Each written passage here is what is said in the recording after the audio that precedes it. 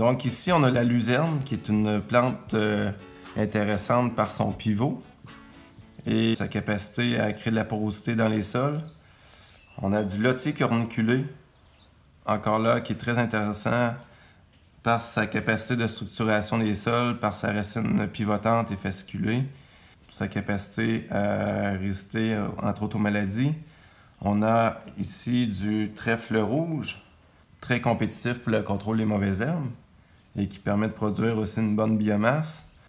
Le mililo, euh, qu'il soit jaune ou blanc, une plante très rustique qui a une capacité à pouvoir décompacter les sols, qui a un cycle sur, aussi sur deux années. On a le trèfle incarnat qui est une plante euh, intéressante par son aspect mellifère et par sa forte croissance euh, durant la saison.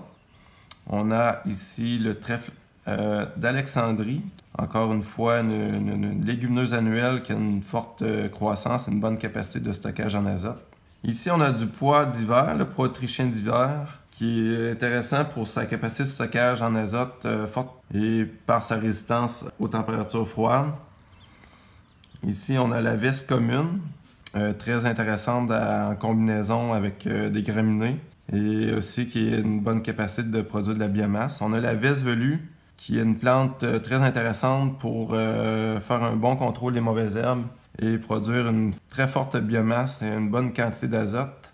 Et ici, on a du pois fourragé qui est très intéressant encore une fois pour sa capacité de stockage en azote, de forte production de biomasse, excellente pour les, cultures de graminées qui vont suivre cette plante de couverture. On a la GES qui a une très forte capacité de nodulation et d'apport d'azote euh, par ses racines, mais aussi par sa capacité à produire encore une fois une très forte biomasse. Et finalement, la févrole qui est intéressante aussi par son pivot. Une fois desséchée, elle euh, laisse une paille qui est noire au sol et qui permet un réchauffement plus rapide au printemps euh, après la fonte des neiges.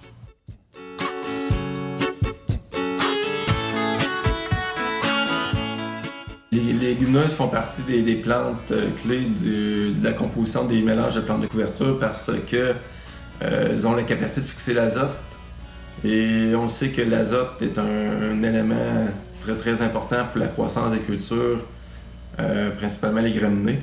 Euh, c'est un engrais qui coûte quand même très cher euh, pour euh, l'agriculteur. Donc, les légumineuses ont vraiment les fonctions de, de stocker l'azote dans le sol et de favoriser aussi une bonne structuration des sols par leurs différents types de racines, principalement les racines pivotantes. Un mélange simple, ça peut être un mélange de radis fourragé avec de l'avoine, ça peut être avec de la veste velue, la veste, euh, ce qui est intéressant sur une longue période de croissance, c'est qu'elle elle assure euh, entre autres une continuité euh, de production de biomasse en fin de saison et forte capacité de contrôle des mauvaises herbes une fois qu'elle est installée dans, dans le, couvert végétal. Elle va geler, mais elle a, la capacité de, pouvoir reprendre sa croissance l'année suivante, en tout cas ici dans, sous nos conditions au Québec.